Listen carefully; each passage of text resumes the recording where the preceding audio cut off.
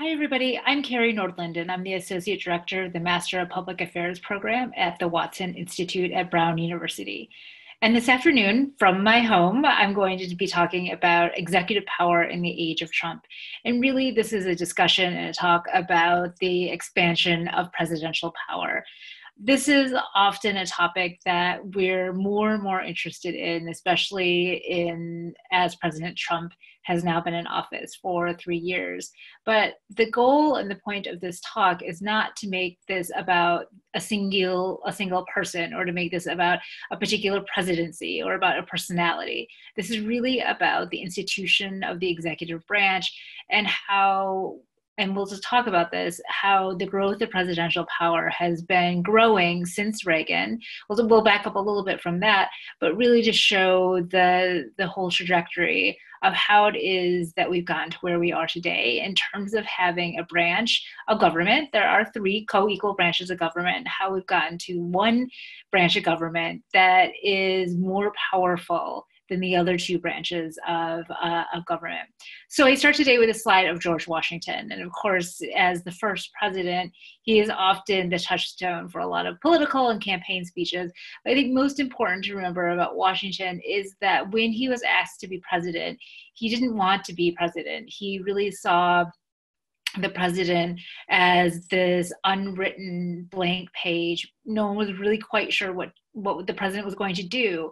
If we just think about the way the Constitution was set up, Article 1 is about the legislative branch, which the framers thought would be the most important branch, and Article 2 is about the executive branch. And so the president presider, president, would be in some ways the follower to the legislative branch. So this obviously looks very different than what we are, than what we see today. But Washington, you know, was a Revolutionary War hero. He wanted to get back to Mount Vernon. This was really what, what he wanted, but he stepped into the role of president because he was asked to, to do that. In a lot of ways, if we were able to time travel in so many different ways, Washington would not recognize the type of muscular presidency, muscular executive branch that we have uh, that we have today. And we look at the constitutional from and we look at the pause. So if we look at presidential powers from a constitutional point of view, there are pretty limited powers. So this is strictly from the Constitution. So if we pull our Constitution off our bookshelves and we look at the roles that the Constitution gives the president that are his and his alone, his being the pronoun because since we haven't elected a woman president you see the list of these on this particular slide it's not a really robust you uh, robust list of powers that the president uh, that the president has. Now, the commander in chief, the second bullet, has become something much more, but at the time it really was just a ceremonial power that the president uh, would have. And even the State of the Union address, which we come to expect on an annual basis, was really just meant as something that might infrequently happen, as uh, as something that the president might do you know, on a eh, semi-regular basis, but not and with the fanfare that it now that it now gets. And of course, the last bullet is that the president can call Congress back into session. And this, as you can see, uh, both President Taft and Truman tried this, but Congress uh, decided that they would not actually heed um, the president's call to come back. So again, just shows you the limited scope of presidential powers from a constitutional perspective. Now, these three bullets are the shared constitutional powers that the president has with either the Senate or with the House. Now, this again starts to expand some of the presidential powers that the that the executive branch has. But again, these are shared powers that the that the executive branch has with the legislative branch. They're not powers that the executive branch has that are his um, that are his and his alone.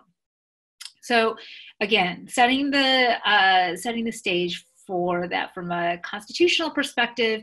Very pretty you know weak pre- executive branch executive branch that is checked by the legislative branch a le- uh, executive branch that is checked by the uh, by the uh, by the supreme court and by the judici- by the judiciary. So in this way again we're not seeing a president that is expansive or executive power that has expansive powers across the federal bureaucracy, which is what we see right uh, right now. So one of the big questions is that from a constitutional perspective, again, the president is very weak, um, presidential scholar Richard Neustadt said in his very influential book that the president was really a clerk. The president was there to sign things, the president was there to move things along, but was the president, as George W. Bush called him, the decider in chief? The president was not. And executive power, again, this is really important to remember executive power was subordinate to that of legislative power. And again, we just to look at the Constitution and think about how the framework of that was set up just gives us that particular gives us that particular signal. So if we think about it if, from this perspective that presidential power is left if, left undefined, as so much is from the Constitution um, in setting up the federal government. So much was left undefined. Um, another talk on this is, of course, the judicial branch.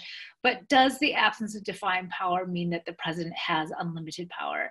And I'm going to pause here just for a second and really think about this question because I think when we start to talk about personalities and individuals, we think, well, so and so did X, and so, but such and such president did Y, and therefore this is. But one of the things to remember is that the presidency is all about precedence. So, a very small example is that George Washington um, was president for two terms and then he stepped away from it. And up to FDR, every president serves two terms. And so, uh, so often with the presidency, with the executive branch, because so much is left undefined, everything is on precedence. And this is a really important point because whoever steps into the Oval Office door, walks into the Oval Office door in January 2021, whether it's Donald Trump, whether it's Joe Biden, whether whoever it is, they are not going to say, oh, let me give back the power that the prior administration had. Barack Obama didn't do this, Bill Clinton didn't do this. In so many different ways, presidents build on the precedents that, that they have.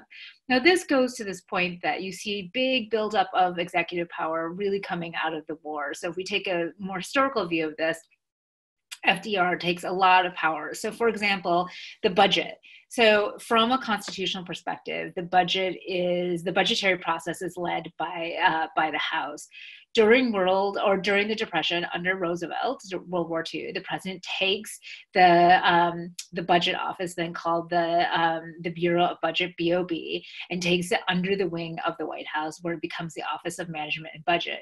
Now this is a very simple example and there's a lot more details to it but the bottom line is the president wrests control of the budget. A huge part of the leg- of the legislative branch's responsibility and says now i'm going to take the lead on this. And as a example, we then see the president using the State of the Union to talk about the budget as if he's the one who is uh, who should be the one presenting the budget to the to Congress when it really is vice versa, right? The, the Congress should be setting their own budget and the president signing that in uh, into law. And so coming out of World War II, we have a great buildup of, pres- of again, of expansive executive power, which really culminates with Nixon and of course with, uh, with Watergate. So after post-Watergate, we see um, what Congress says is the best disinfectant is sunlight. And you have a number of sunlight laws that come into the, or executive orders that come into play. So, for example, the War Powers Resolution that the president has to uh, tell Congress uh, about anytime that he plans to invade a country and uh, again, more details to that, but bottom line things. And since then, of course, presidents have essentially ignored all that. So we think about the presidents right after Watergate Ford, President Carter, and then we start to see again this buildup of presidential power under uh, President Reagan. And this is really where, we, if we pull on that thread a little bit more, we see this with President Trump. And again, the, it, this is not a Republican, this is not a Democrat, this is this is just about presidential power because because presidents can circumvent Congress so easily because they are one entity versus 535 representatives and senators, they can really outmaneuver Congress. And every president comes to some roadblock with Congress and gets really, really frustrated. Truman said, Congress meets, I don't know why. And this is, you know, always pointing the finger at the other end of Pennsylvania Avenue to say, what's the holdup? Why are you blocking all of this important legislation? So there's this inherent tension between the executive branch and the legislative branch. But because the president is one person or one entity, he can so often circumvent and outmaneuver the legislative branch and this of course is uh, can be a good thing if we want efficiency and expediency. Think about post 9 11. This can be a very bad thing if we think about 9 11 um, in terms of civil liberties, in terms of torture, in terms of a whole host of, uh, of other items. So this this rhetorical question about does the absence of defined power mean the president has unlimited power? Of course, presidents have answered this in different ways. Nixon famously or infamously said, when the president does it, it means it's not illegal. This is a real question. And presidents will point to this opening line of Article 2 the executive power shall be vested in President of the United States. Executive power is supreme power. And so, again, thinking about how do we get a president that is so strong, our executive branch that is so strong. These are a few examples of why it is that we've gotten there. We see, we see individuals come into office thinking that when a president does it, it means it's not illegal. Assassinations, right? President Obama, under President Obama, war, so many different things that the public allows the president to do. And in a lot of ways, it's because this rests on this notion of that the American public wants a strong president. They want a decider. They want someone who's commanding. They want someone who can make a decision very, very quickly. And in that way, we as the public allow a president to have this expansive power. And the president, meanwhile, is able to point at executive power shall be vested in the president of the United States to cover themselves when it comes to well why should we allow this? Well so it becomes this very circular sort uh, sort of argument. And in this way i think this is really important in understanding why it is that we see again executive expansive executive power because we the public allow it but also the Constitution, from uh, from a fairly narrow point of view, also allows it with this opening line of uh, of Article Two.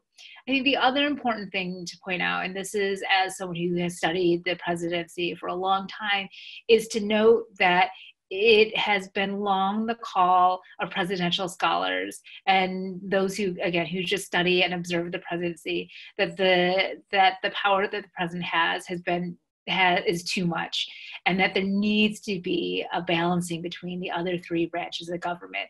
That it cannot be a situation where the president is always out in front and so strong and the other two branches are just kind of trailing behind the executive branch. And so in a lot of ways the talk that oh the president the executive branch has become has um, has become too strong. The president has too much power. This is a good discussion to be having because it's important that Congress actually does more and takes more control of situations, whether it's an emergency like we're experiencing right now with the virus, whether this in times of war, that the president and Congress and the judicial branch are co-equal branches. They are not just one, and then the other two are just secondary branches. One of my colleagues, Andrew Rudalevige, has this great book, um, The New Imperial Presidency. Um, and one of the opening um, examples that he gives is right after 9-11 congress is, de- is debating the authorized use of military force and there are several congress people who say we don't know the president knows more than we do and that was just one of those instances where they debated more about renaming French fries to freedom fries than they did the AUMF, which is still in, which is still enacted today. And so Congress for a long time, and maybe not so. You start to see a little bit now more Congress really trying to make sure that they are this co equal branch with the president. But especially after 9 11, they really let the president president the bush administration really take the lead and decide on so many important policies having to do with american foreign policy um, a- after 9-11 and so this larger discussion, the point that I'm trying to make is that for people to finally say Congress needs to be doing more and Congress needs to be the at least and the judicial branch, co-equal branch, is a really important part of this larger discussion, which I think often gets kind of brushed under the rug because we just kind of there's something happens and then we just kind of go on without thinking about what the implications are of this uh, situation may be on our um, on our institutional uh, institutional branches.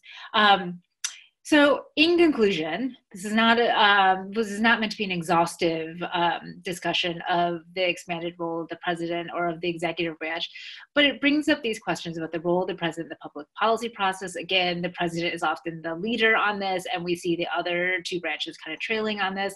I think that there was, and this may not be totally accurate now that the growth of presidential power means the president can do almost anything he wants. Now, of course, I exaggerate here, but the point is is that until Congress or until the judicial branch decides to curb presidential power, and this is sometimes a question Elena Kagan, as she went through her judicial um, uh, approval process, was certainly on the side of not curbing executive power, although there has been some debate about this. But what does this mean? Does this allow a president to, in the words of Nixon, if the president does it, it means it's not illegal. The president controls the process. The president controls the two most important processes, and that is around budget and, and around war. And so this is a really important uh, avenue that Congress has to try to take some control of these two various processes. And this is my last point about that there's a little oversight by the other two branches. The judicial branch, to, to, uh, to end on their role, has had very little appetite to curb, again, the powers of the presidency over the course of the last, since 1954 in the case of uh, Youngstown, Ohio, or uh, Youngstown Sheet and Tube um, versus the Truman administration. Since then, I think there's been six cases in which the court, up to now, in which the court has tried to curb the powers of, uh, or at least in specific cases, say the president cannot do this. So in Youngstown Sheet and Tube, it was that the president cannot seize property. Um, in you, in the famous case U.S. v. Nixon, the court says Nixon has to turn over the tapes but then the other other hand then recognizes executive privilege. And then there's I think three or four cases under the Bush administration about torture. So this is not a really big long list of jurisprudence that we have in which the courts are even saying the president shouldn't be able to do these things the president's power should be should be um, should be uh, limited in some particular way so anything this talk is really um, a sounding bell that the other two branches of our government have to be more involved and have to really provide that check and that balance to the executive branch. Because thus far we see an executive branch that is so strong and so muscular that again in, in times in which we're living especially with all of the shutdowns and lockdowns of our of cities and uh, and states with the virus the Congress has to play a stronger role in some in the decision making around these items so that the precedent is not set that a president can do this and therefore the next president will be able to build on those particular powers Thank you for listening. Um, please reach out. I'm gonna. I'll go back to the, uh, my first slide here just to give you my contact information. If you have, it's just my name underscore uh, my first underscore and my last name at brown.edu. If you have any questions, um, thank you so much for listening, and I hope it provides you a little bit of insight into the institution of the uh, of the executive branch and in the institution of the presidency, and was able to at least in some ways step back away from the partisan politics of things and think think about just about the expanded power of the executive branch. So thank you again. Really appreciate it. Take care. Bye bye.